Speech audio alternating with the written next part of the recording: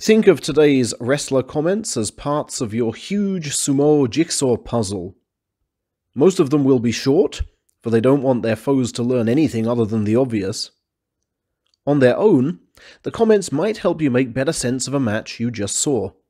But if you commit them to memory, and put them together with other comments you've heard, you'll better understand the matches you're about to see. That's when watching sumo gets really interesting. For example, on Sunday, one wrestler told NHK he had to finish matches quickly because his chronic hip pain makes longer bouts impossible.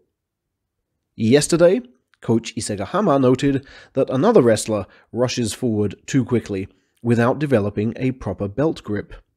We know, from previous information we've heard, that this other wrestler also has bad hips. So putting all the comments together, we wonder if this wrestler is also unable to fight long bouts now. If so, how will he find the balance between needing to win quick and waiting for a sound belt grip? Can he secure that grip faster? Will he start thrusting instead? These thoughts make us far more invested in the bout, right?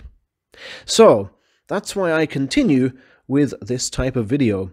With my favorite wrestlers trying so hard in such conditions, there's no way I'm taking things easy.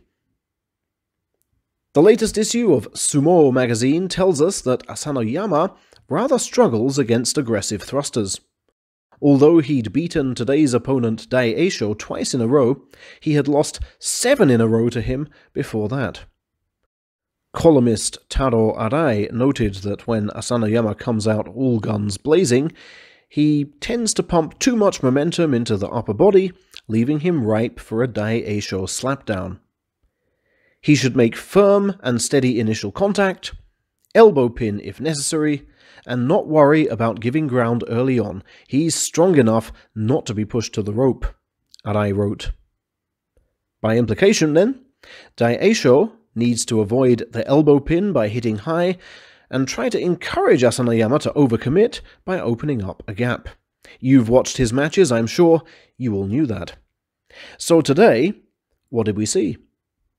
Asanoyama making firm and steady initial contact with the forearm smash, Daieisho keeping his elbows high when thrusting to the neck and face, trying to create distance either by pushing his foe back or stepping away after landing a shot. He expected Asanoyama to lunge forward for the belt, perhaps secure his beloved inside right. What he didn't expect was for the Ozeki contender to bridge the gap with his longer reach and mount a thrusting attack of his own. Even so, experiences from last July and September tell him he has a chance if he sidesteps at the edge, so he does.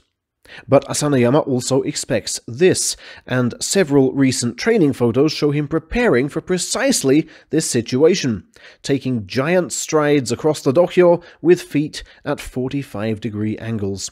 He's perfectly prepared for any sideways movement, and clips Daieisho over the edge. He doesn't say much in his post-match interview, of course, but he gives us a further jigsaw piece. My mentality is to go forward, so my hands just naturally came out in front of me. My calm approach meant I could foresee his possible escape routes. Asanoyama implies he didn't last year, that something about his game has changed. Let's enjoy observing those changes. We'll be here all night if we analyze everything in such detail, so let me just give you the remaining quotes and let you have fun piecing things together.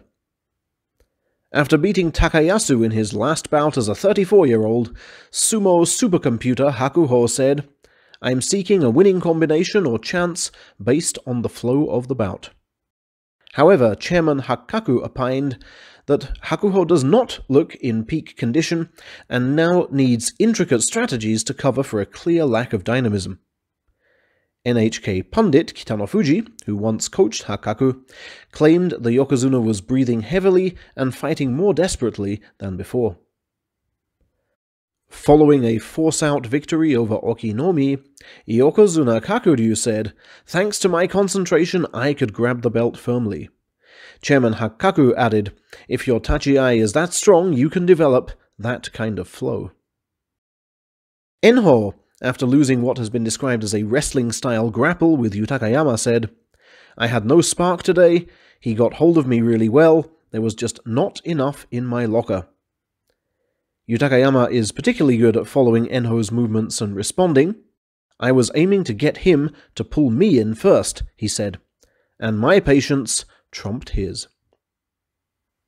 Mitakeumi, after handing Shodai only his seventh defeat in 33, said, That was my style of sumo today.